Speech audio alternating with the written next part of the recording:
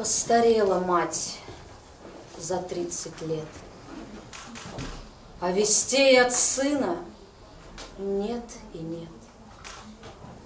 Но она все продолжает ждать, потому что верит, потому что мать. И на что надеется она?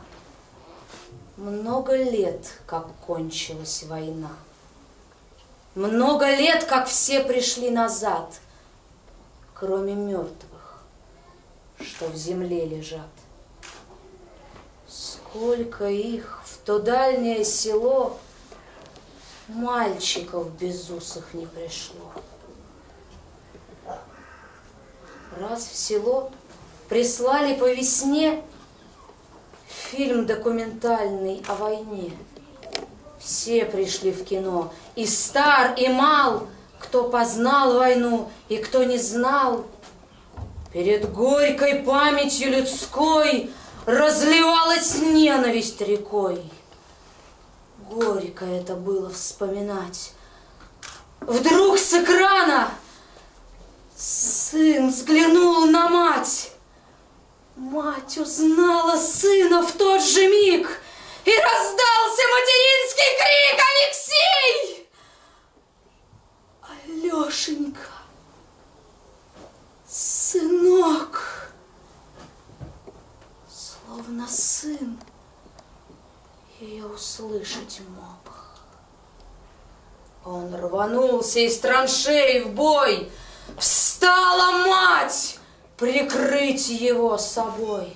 Все боялась, вдруг он упадет. Но сквозь годы рвался сын вперед. «Алексей!» — кричали земляки. «Алексей!» —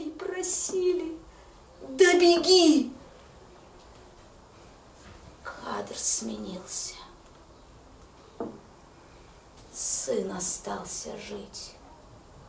Просит мать о сыне повторить.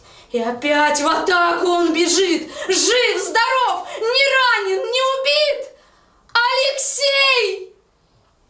Лешенька, сынок, словно сын ее услышать мог. Дома все ей чудилось кино, все казалось, вот сейчас в окно посреди тревожной тишины постучится сын ее с войны. Я убит под Ржевом, в безымянном болоте, пятой роте, на левом, при жестком налете. Я не слышал разрыва и не видел той вспышки, точно в пропасть с обрыва. И ни дна, ни покрышки. И во всем этом мире до конца его дней ни петлички, ни лычки с гимнастерки моей. Я где корни слепые ищут корма во тьме. Я, где с облачком пыли ходит рожь на холме. Я, где крик петушиный на заре по росе. Я, где ваши машины воздух рвут на шоссе.